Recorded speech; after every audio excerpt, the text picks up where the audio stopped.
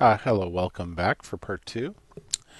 Uh, right now we're going to cover, um, we're going to just pick up where we left off and cover the topics that you were supposed to learn in grade 9. And they're just in the form of quiz questions, question and answer.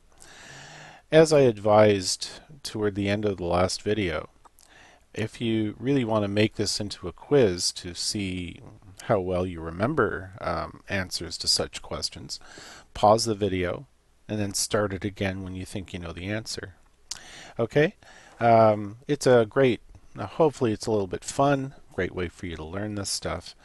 Um, but you should have already learned this stuff, but it's a great way to at least review the stuff. So um, we're going to start with fill in the blanks.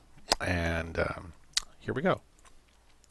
A blank is a pure substance that cannot be broken down by physical or chemical means.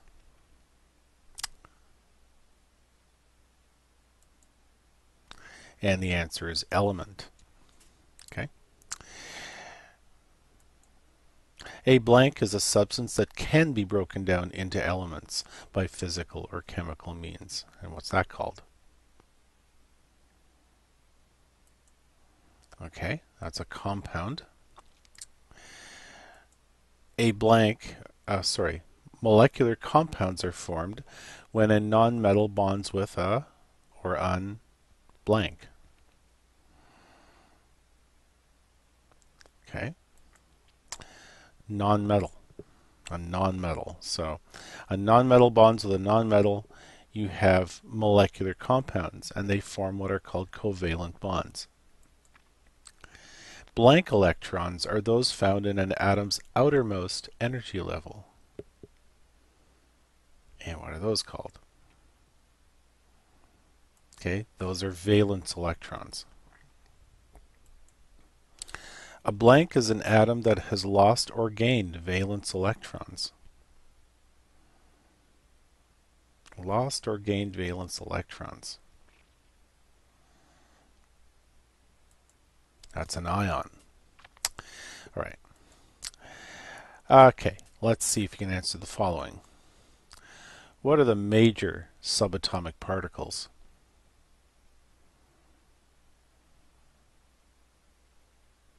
You know, we're not looking for quirks, we're not looking for quarks, we're not looking for bosons or muons or any of that funny business, but the major ones you're supposed to know in grade 9. Well, they're called protons, neutrons, and electrons. Comment on the location, charge, and relative size of an electron in an atom.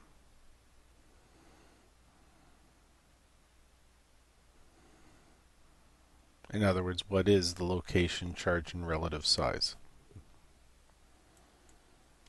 Well, it's outside the nucleus. That's one thing. That's the location. It has a charge of minus 1. And it is the smallest of the major subatomic particles. Okay, answer the following. Comment on the location, charge and relative size of a proton in an atom? Well, it's part of the nucleus. It has a charge of plus 1 and it's one of the largest of the subatomic particles, same size as neutrons. And of course, lastly, neutrons.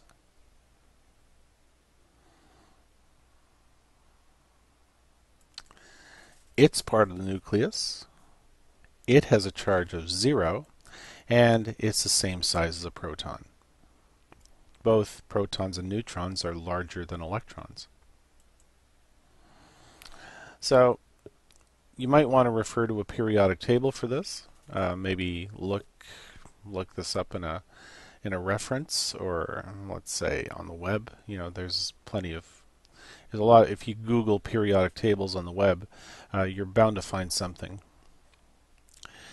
but just take a look really at um, the um, chemical symbol here and the chemical information displayed. This would be a, a square out of one part of a periodic table for this one element. So, um, and there are specific locations for various pieces of information uh, on an element such as beryllium. So um, let's see if we can answer the following questions. What's its symbol? What is a symbol for beryllium? Now, this this is asking you to just look at um, something from a periodic table and retrieve information such as the chemical symbol for beryllium. Well, that's Be. That's the Be part right here. Okay.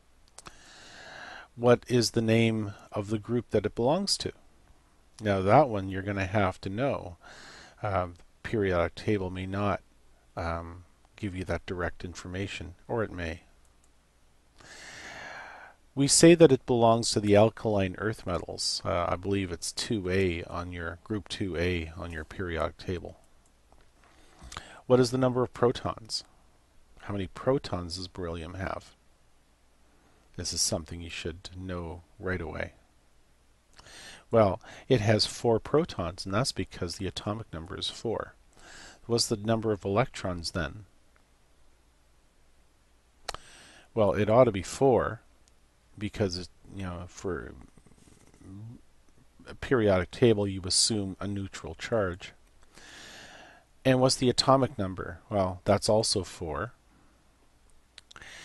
And if the mass number is 9, which it is, how many neutrons does it have?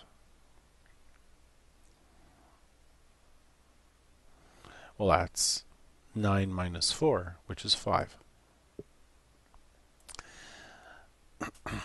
Now, remember I said earlier that you had to know the difference between physical and chemical properties. So you're gonna, I'm gonna give you a statement, and you're gonna tell me whether this statement is of a physical property or of a chemical property. Okay. Pale yellow gas at room temperature. Okay, that's physical. Now, if it's physical, is this a qualitative statement or is it quantitative? This is also something you had to know too. If I say something is a pale yellow gas at room temperature, am I saying something that is quantitative or is it qualitative? And the answer to that is qualitative. It can burn or etch glass permanently.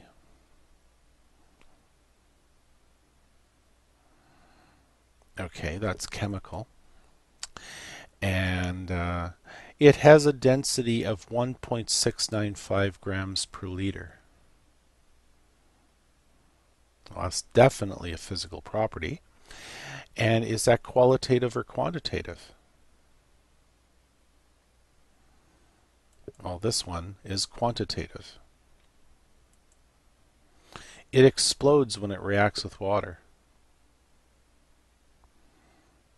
Well, an explosion is a dead giveaway for a chemical reaction. You can't get more chemical than that.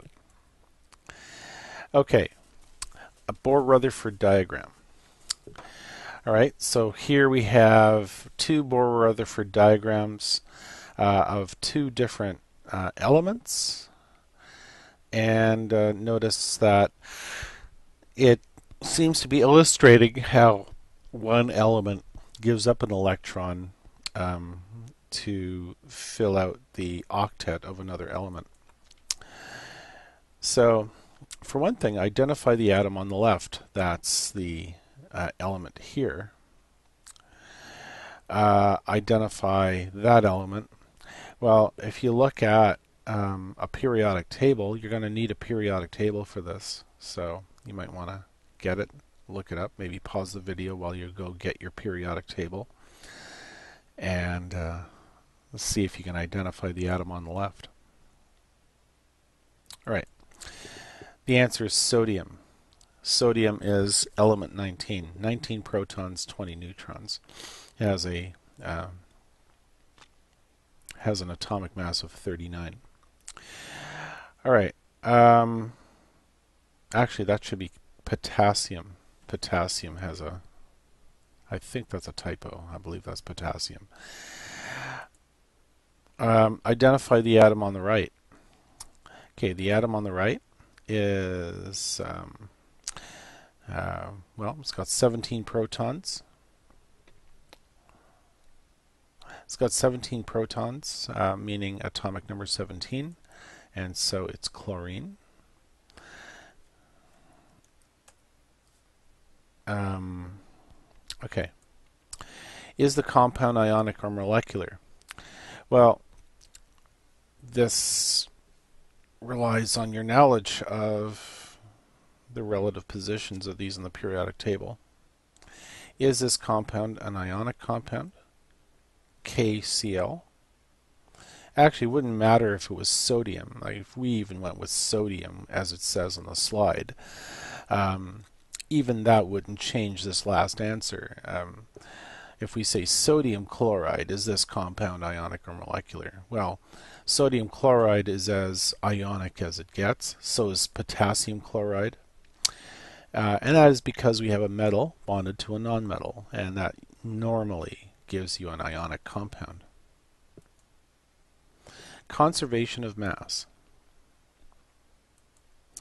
So here we have these blue and yellow balls. So we have here we have uh, presumably a compound with one blue ball and two yellow balls bonded together.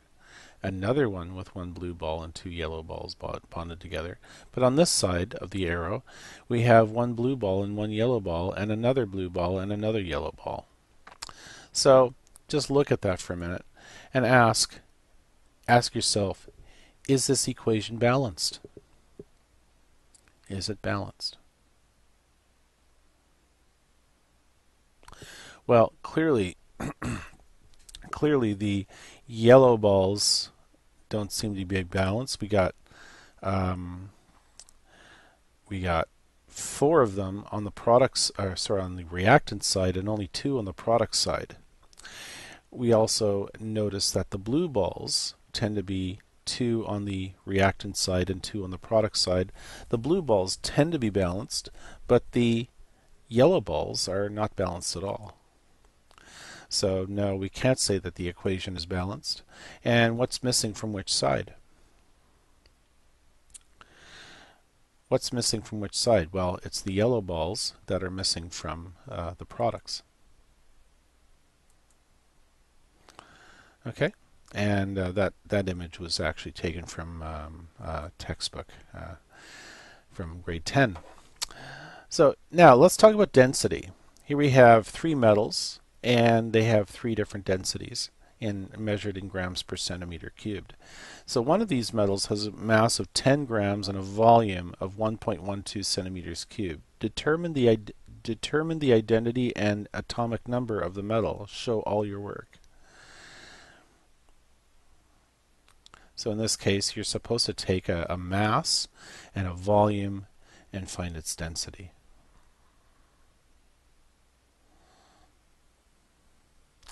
All right, so density is equal to mass over volume. So you take your 10 grams divided by 1.12. So, um, and that becomes 8.93. Well, if you look at the table, the closest metal to 8.93 is aluminum at 8.9, which you're also supposed to use, be able to effectively use estimation and rounding in finding your answers. Conclusion. This is closest to aluminum, atomic number 13. Alright, so I hope you're having fun. That was the uh, summary for grade 9. And in the next video, we're going to talk about grade 10 topics.